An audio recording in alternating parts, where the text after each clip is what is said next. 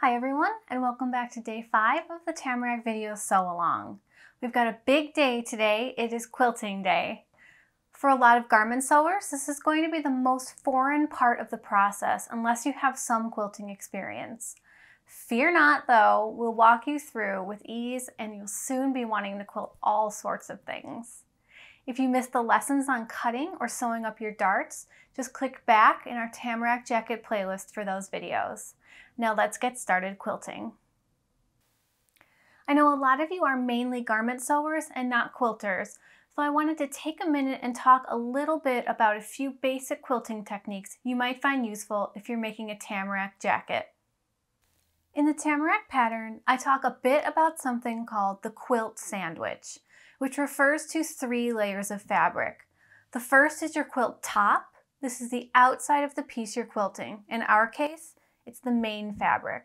You'll want this facing up as you quilt. Below the top is the batting, and below the batting is the quilt backing, or in our case, the lining. So the wrong side of the lining will be facing the batting.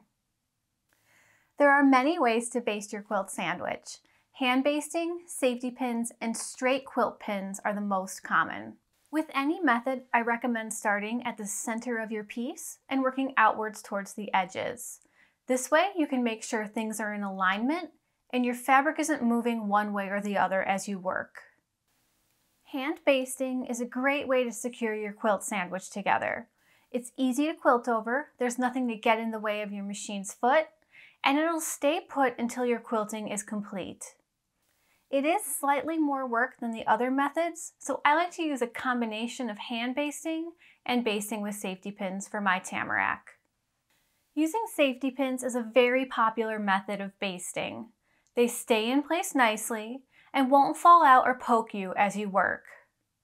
You can also buy special quilting safety pins that are curved to make placing and removing them much easier. The one issue with safety pins is that you will need to remove them as your machine foot nears them to avoid the safety pins getting stuck under your machine foot or your machine foot bouncing off them and going crooked. The final basting method that I see used a lot is using straight quilting pins to secure your quilt sandwich layers. Aside from the fact that this method does allow for some shifting between layers, since the pins have no way of securely closing, you run the risk of the fabric getting stuck on the pins, the pins sticking to you, or them just falling out as you quilt. For something as small as a tamarack, you'll likely be alright using this method, but I definitely do not recommend it if you're quilting a full-size quilt. To begin, we'll create our quilt sandwiches. Align the three layers of fabric so they're smooth with no bunching or ripples and so all edges match up. So here I have the lining, and you can see I'm working with the darted front. So I'm going to align the corners. The dart line matches up.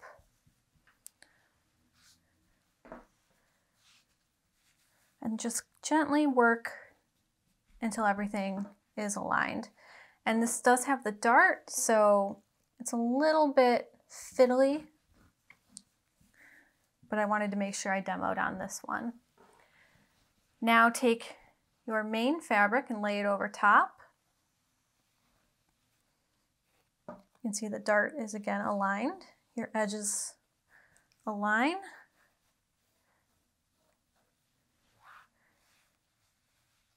And just gently get everything lined up nicely.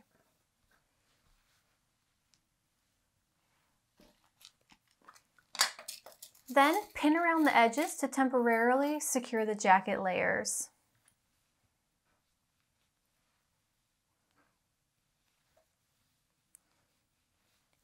You don't have to get too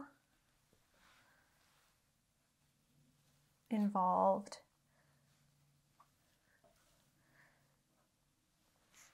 I'm probably getting too involved right now.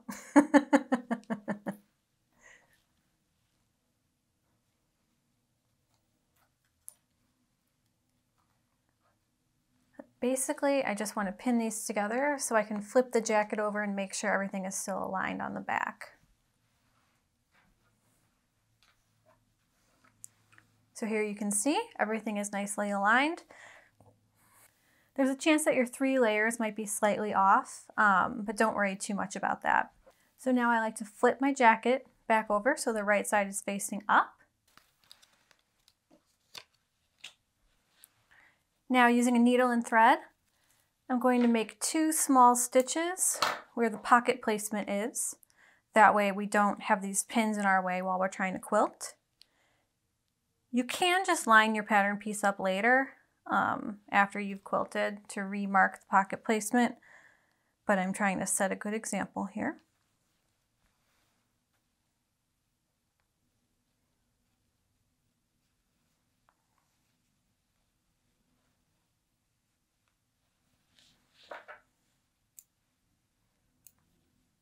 One.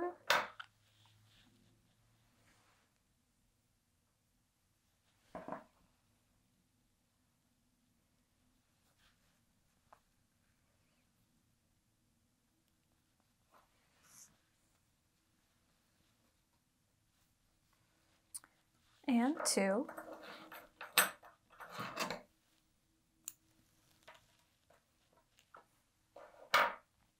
Next, I like to hand baste two anchor lines through the jacket.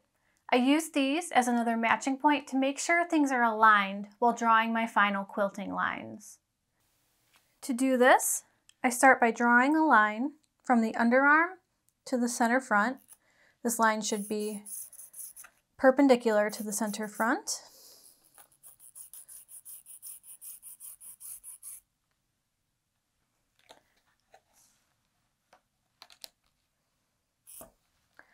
Then I draw another line from the shoulder point where the neckline and the shoulder meet down parallel to the center front and grain line.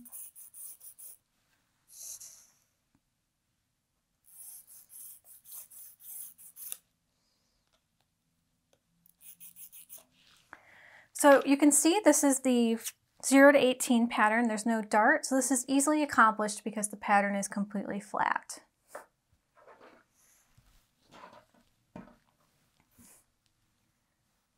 Now for the 14 to 30, we have our dart. So you can't just draw a line straight across parallel to the center front because it won't hit the underarm. And then same thing here, it's not going to be parallel to the front.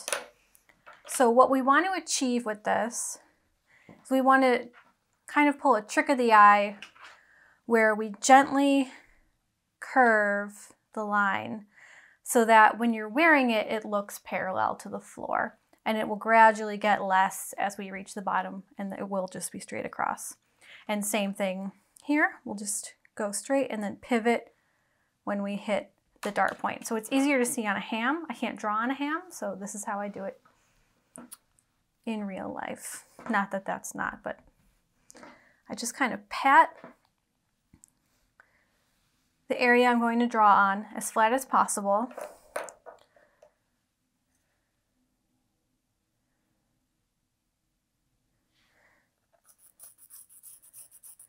and then draw a line over to the dart and then just pivot slightly so that the line is parallel to center front.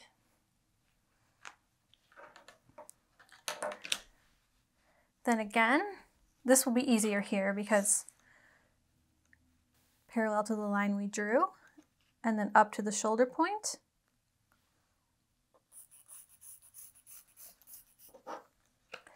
And then from here down, we're going to go parallel to the front. So the easiest way is to measure over. So this line is five and a quarter inches over from the center front.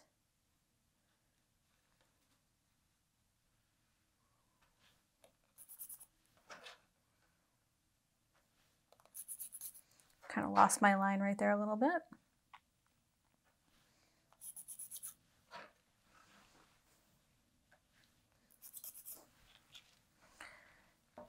Measure over, and then just continue the line down.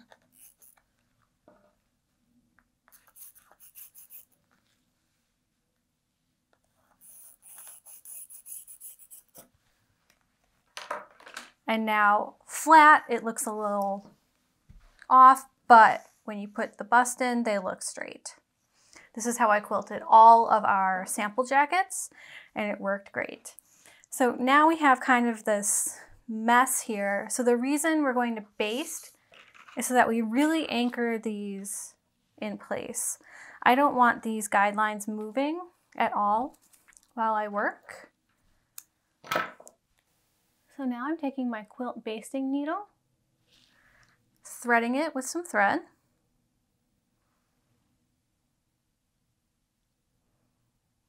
We're going to hand baste along the lines we just drew. That way everything is anchored. You can see how easily this could move around while you're working. Um, and even with safety pins, like I just want this area to be very controlled. And the same thing goes for the 0 to 18. I always hand baste through those as well. I'm going to leave a little bit of a tail because I don't want it to come out. And then just keeping your piece flat because you don't want to be manipulating it while you're basting or things can move around. Just insert a line of running stitches and you can see mine are pretty large. You don't have to get too small with this because you're going to be taking them out later.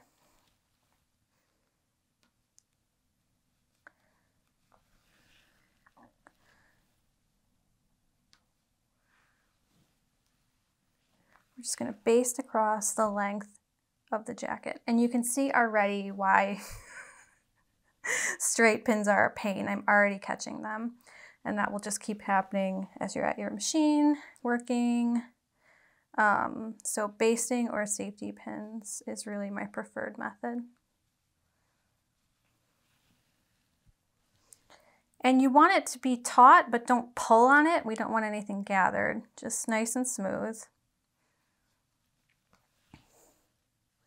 And I'm just using polyester thread for this. I don't really care. Um, it's going to come out. Stuck again.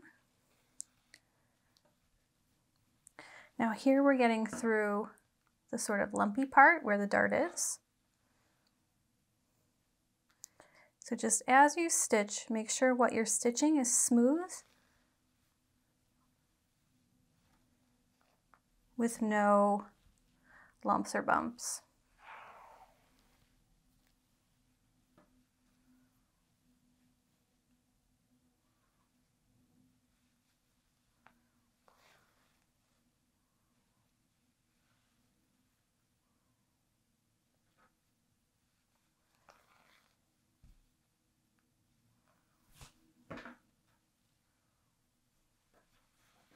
If you can feel a bump, just go around to the other side. Make sure it's nice and flat and continue.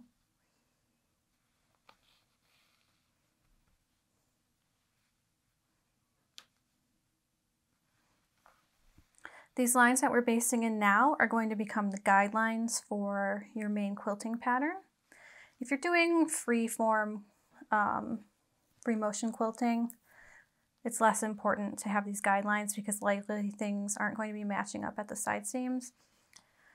But if you're doing a larger pattern or something geometric, it can be really nice to have these so you can make sure that your quilting pattern matches from front to back to sleeve. And these won't rub out like chalk, and again, they just really anchor everything in place. So continue doing that until you have both of these lines stitched.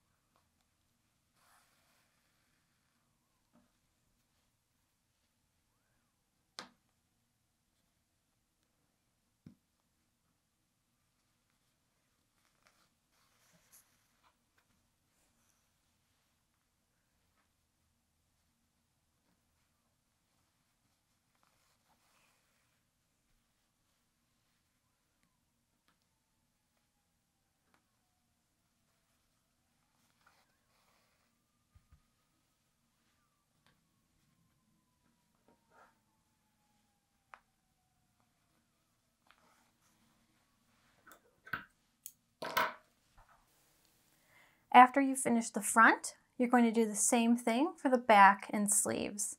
As you can see here, I have a line running from the underarm, the center of the sleeve, and then down from the shoulders at the back. The reason I didn't do the center front is because I want this line to match up with the front in case you want your quilting pattern to continue over the shoulder. But if the center back is a more important reference point for you, you can do that instead. After your jacket pieces are sandwiched together, we'll need to quilt them. If you have not decided on a method and a design for your quilting already, here are a few things to think about. There are many ways you can choose to quilt your pieces, the main methods being machine quilting, free motion quilting, or hand quilting. On our Tamarack jackets, we use straight line machine quilting. There are many different and interesting ways to quilt using straight lines. I highly recommend making a few test pieces with your garment fabric and the batting you intend to use so that you can get an idea of what works. In swatch 1, we did a basic diagonal diamond pattern. Each line is one and a half inches apart from each other. Swatch 2 is the same pattern but on the straight and cross grains rather than the bias. You can see how different the two techniques look just by stitching the same pattern in different directions. Swatch 3 is one of my favorites. It's made by stitching vertical lines one and a half inches apart from each other. Then, when the whole piece is stitched, going back over the piece on the 45 degree diagonal to the straight lines. If you've got a quilting machine on hand, you can definitely try free motion quilting. My machine has something called a free motion foot, which allows you to move the fabric around under the foot and essentially stitch freehand. It's completely unnatural to me, and I find that keeping the stitches even without a stitch regulator is almost impossible. I have to say that this is something that, in addition to having a quilting machine, requires quite a bit of patience and some practice. You can see in swatch 1 my first attempt in the lower squiggle. After practicing, I managed to get swatch 2, which is a bit better.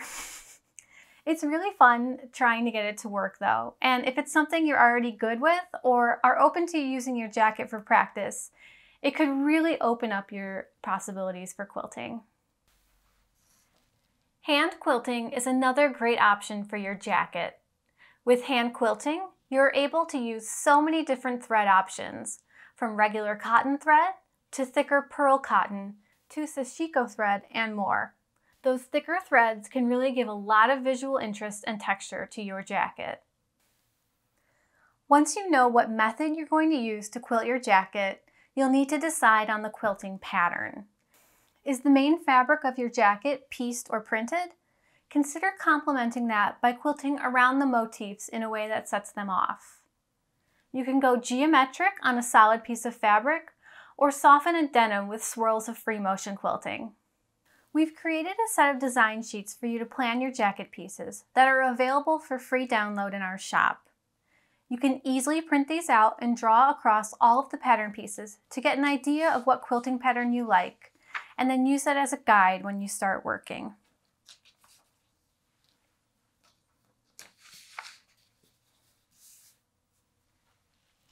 Now we're all prepped to quilt our tamarack pieces, but before you dive in, I highly recommend testing out your thread colors, stitch lengths, and quilting patterns on a scrap of your quilt sandwich. Make sure you're testing on the same three layers you're making your jacket from, as the thickness can affect how the stitching appears. You'd hate to test on a single layer, nail down something you love, and then find it doesn't transfer to the sandwich properly. If you're still having a hard time coming up with your quilting design, check out the hashtag TamarackJacket on Instagram. There are thousands of beautiful jackets you can peruse to get your creativity flowing. Once you've got your stitch pattern decided on, it's time to mark your pieces and stitch. As when quilting a quilt, you'll want to start in the center and work outward. I only mark a few lines at a time as the movement of the machine and your hands maneuvering it under the foot can wear away the outer lines of chalk if you've drawn them all in right away. So you can see I have an all over print on my jacket. So I'm going to emphasize that And I'm going to quilt through the centers of these um, white motifs and then through the centers of the diamonds. So to start, rub that away real quick. I'm going to start towards the center. I'm going to quilt through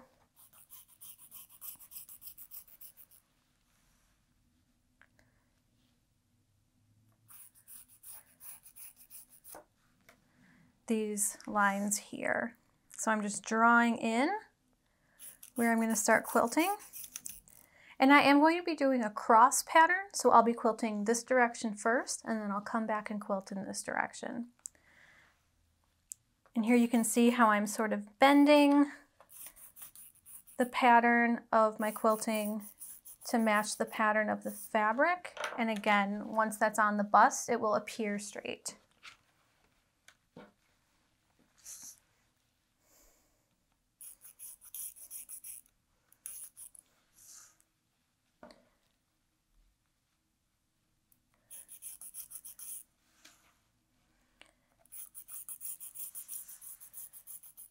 I'm just going to start with those three lines.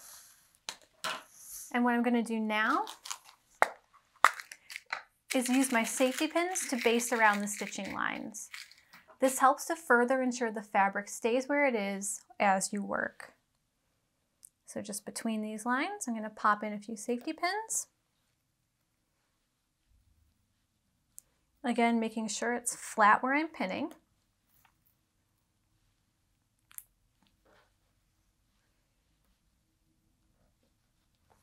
You don't have to get too crazy. Um, I'm just popping in a few on either side of the dart so I can just be sure nothing moves around.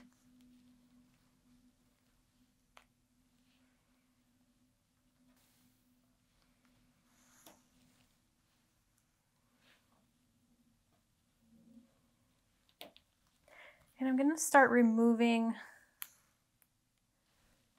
my pins at the side because I don't want those to get stuck on anything as I quilt. You want as smooth of a line as possible while you're quilting. That said, I have found it's almost impossible to quilt a truly straight line while quilting on a standard sewing machine. If you have a long arm and your quilt is secured into a frame, sure. But on your sewing machine, it's just really probably not going to happen. Um, and that's fine. It doesn't happen for pretty much anyone I know. Um, the great thing about quilts is once you wash them, they kind of crinkle up into a really nice texture that also makes it appear like you sewed a perfectly straight line. So do not get caught up in that. Don't be seam ripping a bunch of junk. It's gonna be a pain.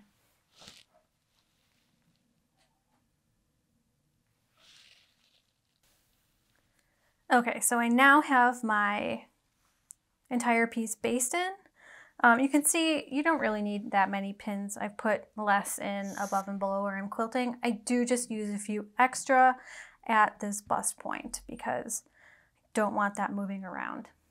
So now we're going to head over to our machine and we're going to stitch over the lines we drew using a walking foot. You're going to want to make sure you have a walking foot for this, otherwise your fabric can shift.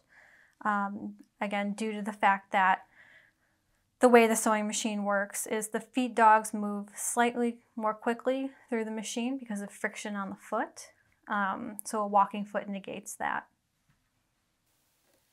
I'm going to slide my fabric underneath and I'm just going to start quilting across.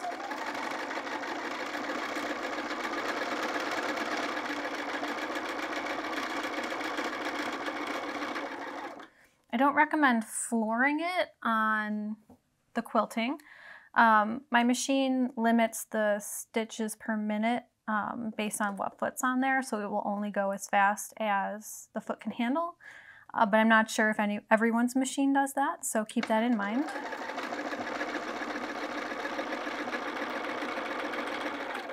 As you approach the bust point, just again, make sure everything, oops, sorry, is nice and flat.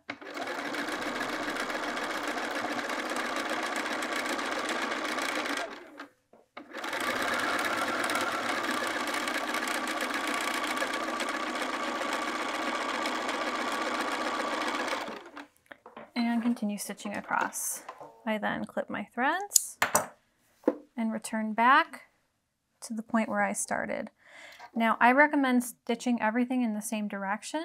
Um, you can get a bit of shift while you're sewing and you don't want um, the fabric to be going like this if you go one way in one direction and then back the other way.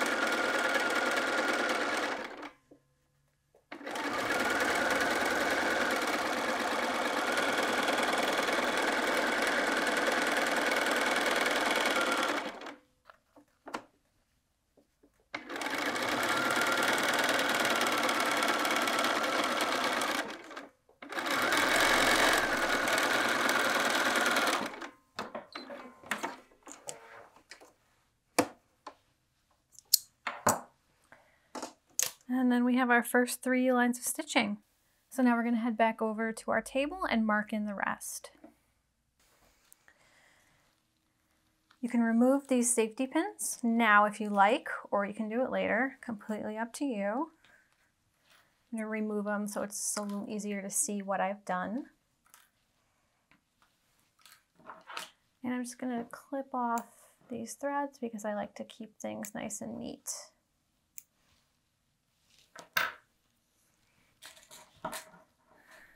Now we need to draw in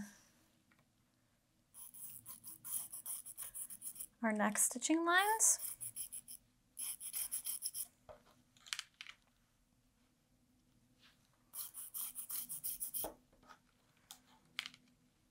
And here, these are going to be in the way of my foot.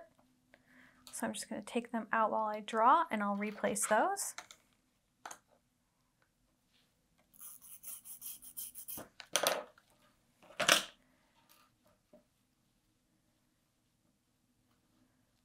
Back in the shoulder.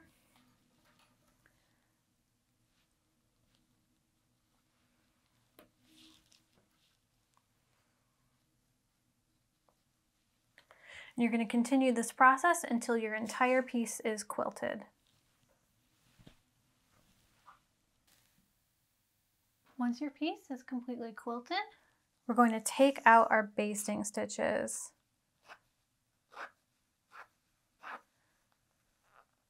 There may be some points where you caught the thread in your stitching. You can just kind of snip those out.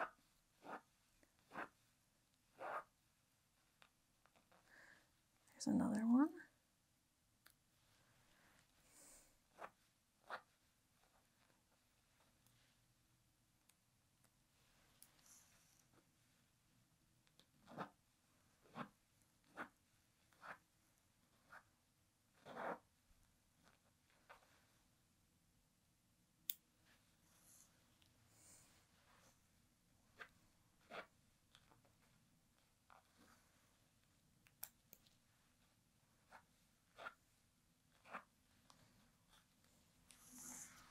And then in the opposite direction.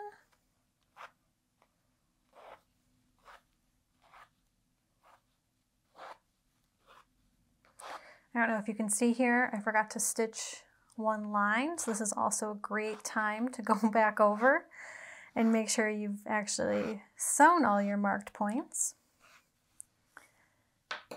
So once everything is sewn, your basting stitches are removed, we're going to stitch around the outside of the piece using a quarter inch seam allowance. So that will be inside of the assemblies and binding seam allowance. And this just ensures that everything is stuck together and forces all three layers to act as one as we assemble the pattern. Okay, now here we are. I'm going to be stitching around using my quarter inch seam allowance.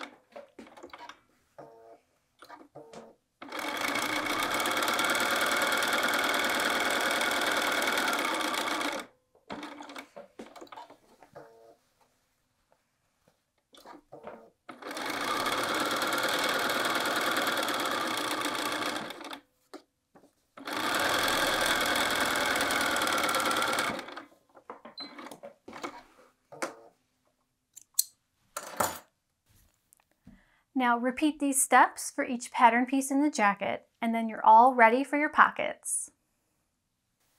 All right, that is it for today's lesson. I have walked you through how to quilt your pattern pieces and now you have the weekend to get them put together and quilted before next week where we'll be working on the welt pockets, patch pockets, and making our bias binding. If you have any questions, as always, let me know in the comments below and I'll get back to you ASAP. Make sure you're subscribed to our channel so you don't miss any of our video updates, and I'll see you back here next time. Bye-bye.